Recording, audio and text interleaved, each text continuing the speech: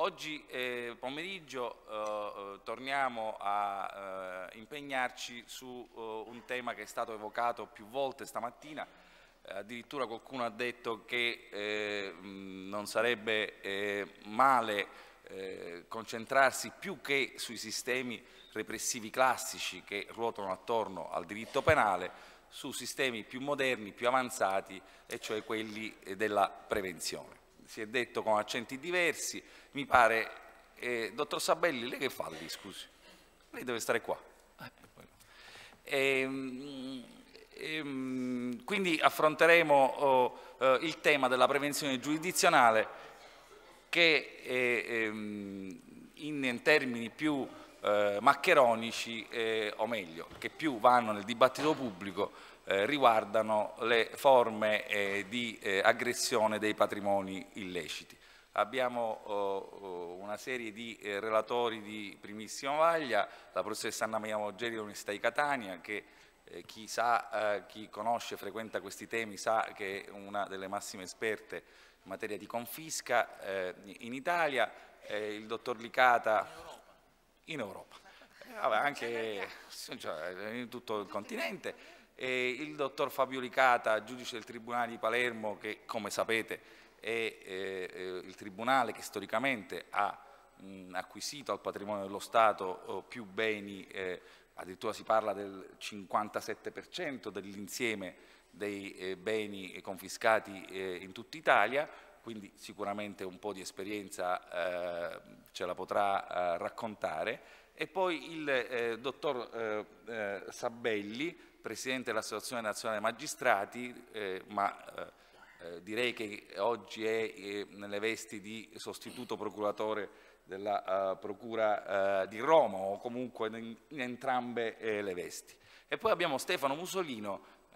che è sostituto procuratore al DDA di Reggio Calabria, altro presidio strategico che negli ultimi anni ha, ha fatto registrare una impennata molto seria nelle eh, capacità di aggredire i patrimoni eh, mafiosi. Io eh, inizierei subito col dottor Sabelli, eh, prima però oh, eh, vi, vorrei, eh, vi sarete accorti che c'è una musichetta che abbiamo da stamattina fatto sentire, ecco non è una musichetta a caso, è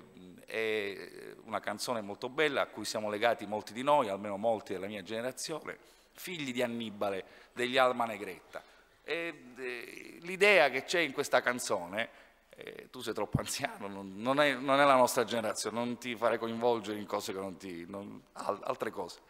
Ma eh, questa, molti di noi, eh, no molti, alcuni di noi hanno voluto con, questa, eh, con que, questo bel testo eh, significare qualcosa di molto semplice, basilare. Io credo che come meridionali, come siciliani, come calabresi, come napoletani, come pugliesi, eh, a noi non ci può liberare nessuno purtroppo. Eh, possiamo liberarci da soli, dobbiamo liberarci da soli. Questo significa che eh, ripensare l'antimafia significa anche un po' ridimensionare alcune forme, dal mio punto di vista propagandistiche, eh, che eh, disegnano un, un, un avvenire nel quale ci sarà qualcuno uh, che libererà il Sud da questo uh, uh, cancro che ci portiamo da almeno 150 anni, ma non sarà così. Perché, e, e soprattutto se questo liberatore viene da Torino, so, da Milano, questo, io lo, lo, escluderei, nel senso quella è una, una, forma di antimafia che noi crediamo debba essere eh, superata. Anche perché quando si racconta, ed è una bella cosa, in giro per l'Italia eh, l'elenco delle vittime della mafia, noi dobbiamo sapere che il 98% di queste vittime della mafia sono dei siciliani, sono dei calabresi, sono dei campani e questo avviene dal 1860 fino ad adesso. Questo per dire che l'antimafia nuova, eh, che noi speriamo venga fuori eh, nei prossimi mesi, nei prossimi anni, parta dall'idea che noi ci dobbiamo liberare con le nostre forze, non ci sarà un liberatore. Passo la parola al